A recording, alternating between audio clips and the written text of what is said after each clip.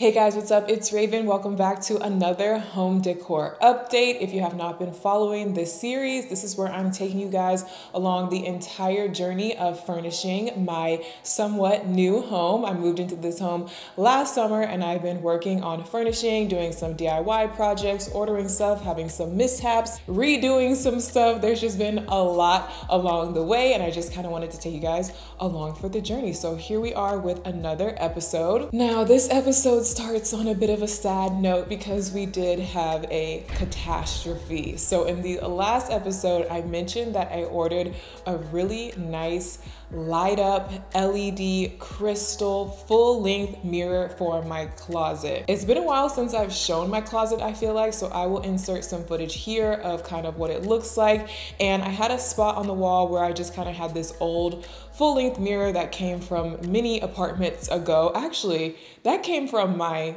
did it come from my honestly, I've had that mirror for years. It's nothing too special about it. It's just a plain white mirror.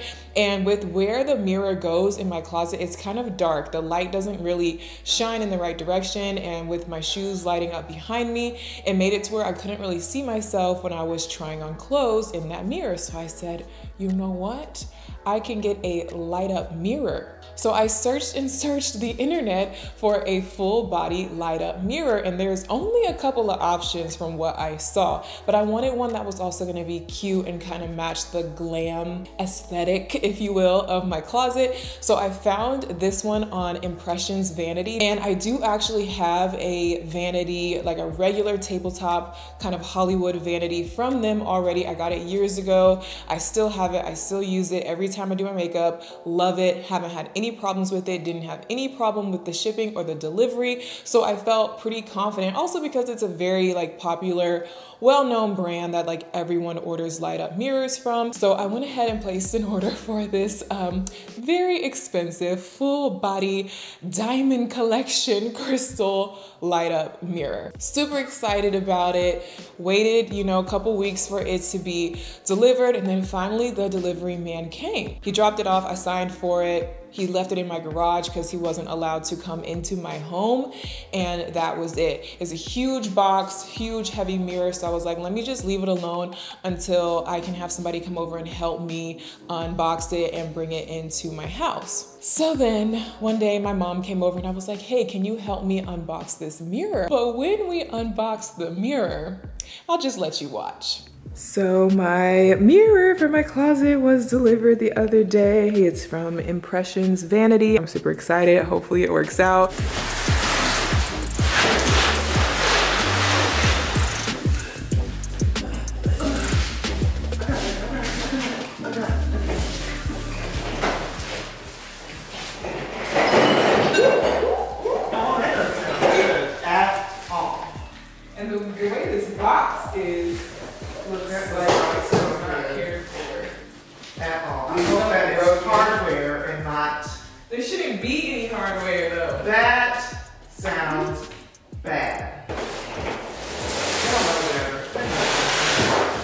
Just saw how gently we laid that down and it was already, whatever was in there was already like that, rattling around when we tilted it. So we're just gonna stop and open it right here and see what's up. You can see everywhere all over the box, it says fragile, please handle with care. But does it look like this box was handled with care? Look at this box. I haven't even touched it. And the whole box is falling apart. Looks like it's been thrown around. Got puncture holes in it. Plastic is all ripped off. Big old puncture hole right here. Looks like it's coming apart down here. Looks like they literally were throwing it around. Cause as far as I'm concerned, there shouldn't be any assembly. So there shouldn't be any loose pieces in there. It should be all one thing. I don't know what that sounds like. Sounds like broken glass, but I hope it's not. This is a damn mess. A mess. A, Oh a total mess. I want to cry. I'm so disappointed about this. First of all, the shipping and everything was a mess. So I was a lot of back and forth to even get this delivered in the first place. And now it's finally here and it's completely destroyed and it doesn't even look like it was handled with care at all. And not only that, because obviously I'm getting my money back or I'm getting a refund or an exchange, I better. But with stuff like this, I've had this experience before. They don't want to take this back as a return. They don't want to take it off your hands. No junkyard wants to take it. No salvation. You, you can't get rid of stuff like this. Nobody wants to take it from you. You're gonna have to pay someone to haul it off. It's like someone jumped in the middle of the package. It's showing right here. Impressions Vanity, y'all owe me some money for my for my refund, but also for my pain and suffering and figuring out how to. Because this is a big, heavy mirror. This isn't something that I can just put next to my dumpster for the trash man to pick it up. What am I gonna do with it? Look at this. Wow. It's just even more annoying because I've had such bad experiences with getting stuff. Like, I'm sorry. I, I know sh shipping people have a hard job or whatever, and I don't want to make it seem like I'm generalizing, but almost everything that I order looks like it has been manhandled. It's broken, chipped, damaged, not handled with care, not delivered properly. It's like they're just throwing the boxes in the trunk, throwing them on your front step. And almost everything that I order is broken in some way. I know you guys That's have seen it. This, this is supposed to be for the Target stuff. Target stuff was broken. The mirrors in my bathroom, my light up mirrors in my bathroom, one of those was chipped. My dining room table was damaged. There's almost everything that I ordered, except for the stuff that I've got from Restoration Hardware, which is top, top dollar. That stuff has been handled with care. But any other regular, non luxury store, I've had everything be broken. Not nearly as bad as this in the past. Not even chipped, not even cracked busted, destroyed. Looked like somebody did this on purpose. Anyway, let me figure this out. As you can see, the mirror was completely destroyed. I mean, there's no fixing that. Completely destroyed. And from looking at how like the box looked and how it was dented up, it literally looked like somebody had taken their big old work boot and stomped on it. Like I don't understand any other way how this type of damage can be done to something when it clearly says fragile. It's like you had one job, but mm. Mm. So, needless to say, I was extremely disappointed, but not only just disappointed about the fact that like the mirror is broken, I'm not gonna be able to put it up right away like I thought. I'm gonna have to go through this whole process of doing a, you know, getting a new one or getting a refund, and then they're gonna have to ship it again. I'm gonna have to wait, you know, that whole thing. But what am I gonna do with the broken mirror? because um, you can't just put a giant pile of broken glass out on the side of your curb for the trash man to pick it up. That is a liability. They will not pick that up. So I knew it was about to be a hassle and I knew it was about to cost me some money just to get rid of the broken one. Meanwhile, I'm contacting Impressions Vanity, I, and I know I'm going on a whole rant right now, but I am very upset about this, and I'm still upset about it to this day because, mind you, the mirror was um, delivered on May, I want to say like May 5th or something like that. I opened it on May 8th. It is now, as I'm recording this, June 8th. So it has been an entire month. And do I have my mirror? No, I do not. Do I have a refund? No, I do not. Do I have compensation for the fact that I had to pay someone to come and remove the broken one? No, I do not. So I am very annoyed and very upset and very disappointed with Impressions Vanity because, like I said, I had had a good experience with them before. I see people order from them all the time, didn't think it was going to be a problem and it turned out to be a huge hassle. So I literally had to pay someone to come and pick up the broken one and take it to a proper disposal facility, the dump. I don't know where they took it on top of the cost of the mirror. And I just haven't been able to get in touch with Impressions Vanity. They are very spotty with answering their emails. They say on their website that they are still, you know, answering emails and stuff like that, but they're not answering my emails. They're not answering my DMs. I'm now out over $2,000. This is thousands of dollars we're talking about altogether, and I have nothing to show for it. So, if I'm not able to rectify the situation with them, I don't know uh, what other mirror I can even order because I shopped around so much and I did not see any other options. So, if you guys find any really cute or similar light up mirrors, send them my way. Let your girl know, help your girl out. Moving on to actual updates around the house. I thought I was gonna be able to show y'all that, but mm. anyway, little updates around the house is that I did kind of zhuzh up the laundry room a tiny bit. There's still a lot of work to be done in the laundry room, but I went in there and I finished assembling Bougie's cat tree finally. The cat tree is in this little slot that originally was supposed to have a refrigerator, like a nice glass front refrigerator. That was like my dream to have. But then I got bougie and I was like, okay, I'll just use the space for bougie. It's okay. I don't really need another refrigerator. Um, but I had never finished building it or adding the last little piece to his cat tree. So I went ahead and did that. And then since Home Goods and stuff is now finally open, I took a little trip to Home Goods. I was so excited to finally be able to like go back shopping in store. But honestly, they didn't have anything. It was like wiped clean already. Like people, I guess everyone was itching to go. So everything was sold out. But the one thing that I did find was this really cute cat treat jar. So I went ahead and filled that up, made that look all cute. As you can see, Bougie be trying to rip open the treat bags and break into them. We need to get some more treats, but we'll refill it later.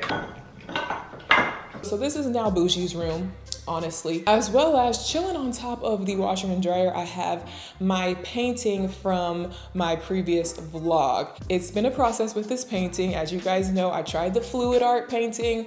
It was an epic fail. If you didn't see that video, go check out that video. And then I tried to redo the fluid art also an epic fail. So then I just ended up going crazy on the canvas and doing this kind of like scratchy, scrapey, abstract art, like totally different vibe. And I even added a little bit more, I think a little bit more black to it since last time that you guys saw it. Um, and I think this painting is cool. I'm pretty happy with the outcome, but unfortunately when I brought it into my house, it just did not fit it didn't fit. I was intending to put it over here in the living room, and when I brought it in here, I was like, mm, no, it's a nice painting, but it just doesn't fit the room. So then I brought it in the laundry room and I was like, well, the colors kind of match. Like the cooler tone gray matches the cabinets in the laundry room. So I have this big empty wall here. Maybe I'll just end up putting it in here. I don't know, but I'm not so sure about that because I actually am working on designing two things.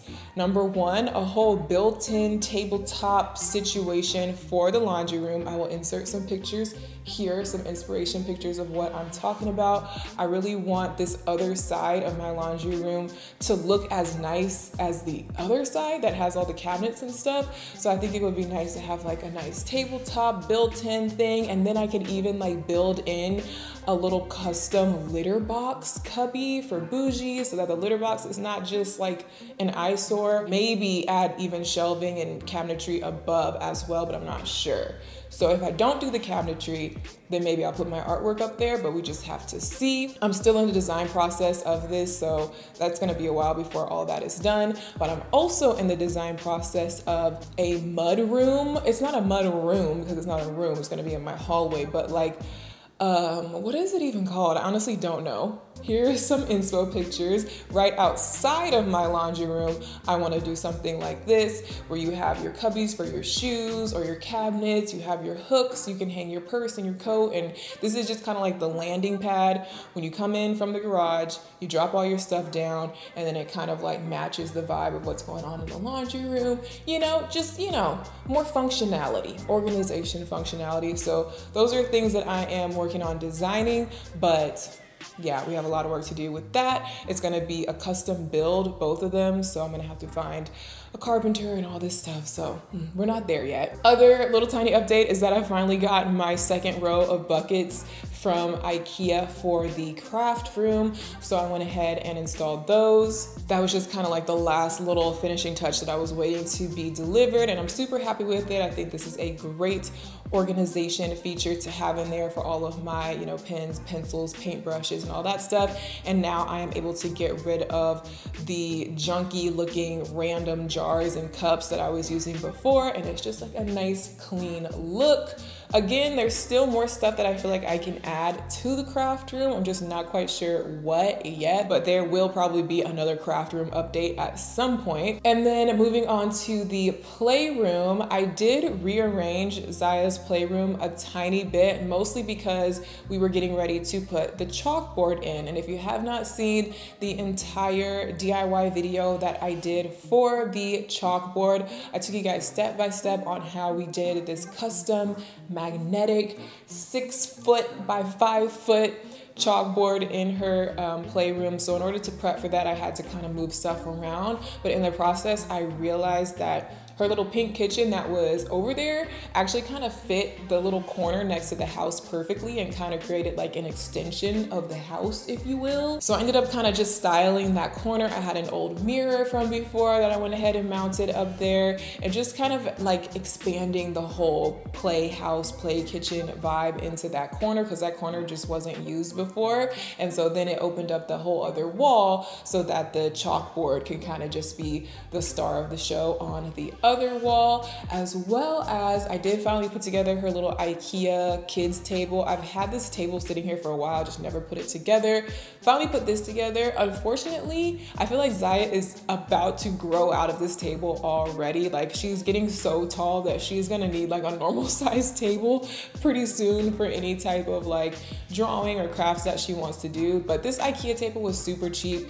I'll keep it for now, but honestly, I'm probably gonna end up switching it out. I did decide to keep the mint green chairs though, and I think as of right now, I'm going to keep the pink and mint green color scheme along with the white, black, gray natural tones. At first, I was thinking that I would just do like a totally kind of neutral, sophisticated palette for the playroom because it's not a closed off space. It's the first thing you see when you walk up the stairs. So I was like, it should be cute. It should kind of match like the vibes of my house. But then I was like, no, it is a playroom. So I feel like it should have some color to it and it should be a little bit more fun. So I decided to keep the pink and the mint green in there. Um, I even think that I should do like an accent wall either behind the chalkboard or behind the house of maybe like some patterned wallpaper or like paint the wall like pink or mint. I don't know. I don't know yet. I don't know, you know how I am with accent walls. I haven't had the best luck with accent walls, so I don't want to rush into anything, but I have decided to let the playroom have a little bit of color because it is a playroom. And then one last random thing that I did in there, the carpet that the playhouse was sitting on was bothering me. And I always had this idea to just cut around it, but then I was like, is that a good idea or is that stupid? But I just went ahead and YOLO'd it and I went ahead and did it because the intention was for the inside of the playhouse to like be carpeted and also have something to sit on so it's just not messing up the actual carpet. But when I bought this little cheap rug from Walmart, I miscalculated the size and the rug ended up being too big and like poking out of the playhouse. And that just always bothered me, like the way that that looked. It just looked a little busy with like the other real rug in the room, and then the carpet, and then that rug, and then I don't know, I just didn't like it. So I grabbed myself an X-Acto knife and a pair of scissors, and I just started cutting around like the border of the house just to kind of mimic the effect of the house being carpeted, but you can't see it from the outside. And it actually turned out pretty well. I didn't have any problems with it. It was pretty easy to cut through. Again, this was just a super cheap little rug from Walmart anyway, so I'm not, you know, didn't have to take a big risk with it. And it turned out pretty good. And I think it looks much more just clean from the outside now. Um, I am considering switching out the pink rug that's in there. I don't know, I'm not sure yet. I'm still kind of confused with my color palette and the whole vibe of the room. I know I want to add curtains. I know I need some bookshelves for all of her books. I'm just having trouble finding what I'm looking for because I'm also having a lot of trouble finding inspiration pictures. So I'm kind of making it up off the top of my head and that can be a little bit hard. Okay, so I know that all those updates were like really small except for the chalkboard, which you guys have already seen in the other video. But just with the pandemic and everything, I've been, you know, not focused on decorating my house, not really been able to go shopping in store, having trouble obviously with ordering stuff and having bad luck. So I just haven't made too much progress over the past month. But one thing that I did make progress with, and one thing that I am excited and proud of, is actually this baby right here, this painting that is behind me. I finally truly made a painting that I like, that I actually have hung up in my house after all this. My original intention with all the paintings that I've been trying is to fill up this empty wall in my dining area right here behind me and also the empty wall over in my living room. At least get one of those spots filled up. So I was determined. So I went to Michael's and I bought the largest canvas that they sell and then I was super inspired by this YouTube video that I came across of this girl creating a really nice textured canvas using spackle. And I was like, oh my God, that is so smart because I've been trying to get texture using acrylic paint alone. And the first time I did it, the paint just crumbled and cracked and it was a mess. And the second time I did it, it just wasn't giving me the result that I wanted. And I was like, she is so smart spackle. So then I got the spackle, got the canvas, and then I had some matte white paint and some matte black paint because I decided for this one I need to keep it simple white and black, that's it. I'm not doing all the grays and the mixing and the golds and the sort. No, I wanted something super simple, super minimal and abstract. And these were my inspiration photos. These are from, you guessed it, Restoration Hardware, where I get all of my main home inspo from. I love looking at their online catalogs. They just have the most beautiful images on their online catalogs of all these stylized rooms with different vibes and different color schemes. I mean, not really a lot of different color schemes because mostly all their stuff is neutral, which is why I like them. But every time I see their catalog, they have these super minimal, abstract, paintings in them. And I'm like, that is the vibe that I need for my house. F the fluid painting, pour paint. No, we're gonna do something totally different. I went to work first with the spackle.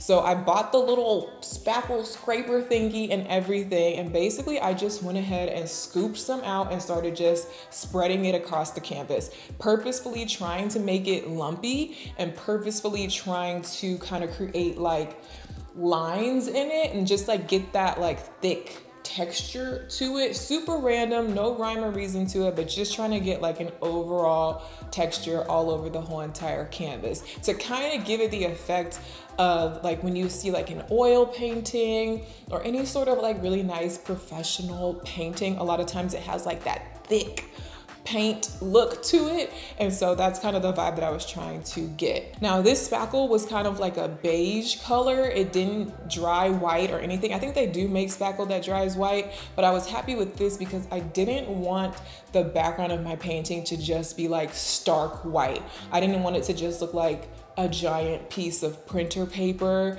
I didn't want it to be too flat. When you look at my inspo pictures, it has texture, it has depth, it has slightly different variations of whites, like, you know. So because I wanted to mimic that texture and that depth, I was happy with the fact that the spackle was actually kind of a beige color. And then when I got my matte white paint, I actually mixed in a little bit of ivory paint just to kind of make it not so bright white. And then I kind of loosely, like lightly painted over the spackle once it was completely dry with my little mixture of paint. So it gave me a white background, but not like super solid, super bright bright white. So I was super happy with how this first kind of step turned out. But then came the hard part, which was the black brushstrokes. And so I compiled a whole bunch of inspiration photos of different styles of brushstrokes. You can make it really swirly, really circular, really straight, really like linear, and it almost looks like tree branches. And I decided to kind of go for a mix of everything, just something super random and super abstract, more so like the restoration hardware picture. And so then I took this huge paintbrush, dipped it in the matte black paint, and literally just like I was so scared I was gonna like make it look ugly. And actually I did kind of mess up. I put some strokes on there that I didn't really like that kind of just looked out of place. And so I ended up letting it dry and spackling over it to cover it up and painting over it with the white. So it's actually fairly easy to like fix any mistakes or just kind of go back and layer it up and just make it look how I wanted it to look. So this is actually a very forgiving style of artwork, you really can't mess it up because everything is so random, so abstract. You can layer it up, you can paint over if you mess up. So if you guys like this style of art, I actually do recommend that you try it. It's really not hard at all. And I think it gave a very like nice, like like I don't know how to explain it. I feel like it doesn't really look DIY. Like it really looks like the real thing. It looks like this could cost thousands of dollars in a gallery. Like I'm very proud of myself. The one thing that I think is missing and then I think would set it off, and I've been saying this about all my paintings, is if I could put a frame on it. The ones from Restoration Hardware have like a thin black frame on it. Some of them have gold frames. I think I would put like a black frame on here, but that would be another custom element that I would have to either figure out how to do the framing myself or pay for it to be framed and that's gonna be super expensive. So that's a whole nother thing that I still need to revisit. I do think that that would really like just you know, clean it up though. But even besides that, I'm really happy with how it turned out. It is the exact like vibe that I wanted. And I think it looks really similar to the Restoration Hardware one. And even if I decide that I kind of want to switch it up down the line, I can always like layer it up and add more to it or take more away. So I'm really happy with this style of art. I think I will attempt another one or like a similar one for the other area in my living room that's still desperately needs something on the wall. But yeah, guys, that's it. I know I didn't really have like too many super big exciting updates for this video, but just like I said, with the pandemic and everything, things have just kind of been slowed down. But that is the progress that I was able to make. I still wanted to share it with you guys. Of course, I have so much more planned. Like I said, with the laundry room, the mud room, I have to do my landscaping outside, my whole backyard vibe. I have just so much to do. It's actually kind of overwhelming, but that just means that there's going to be more episodes for you guys to watch. So I hope you guys are enjoying this series. If you are, make sure to give this video a thumbs up. Subscribe if you haven't already so you don't miss the next update. And I will see you guys in my next one. Bye.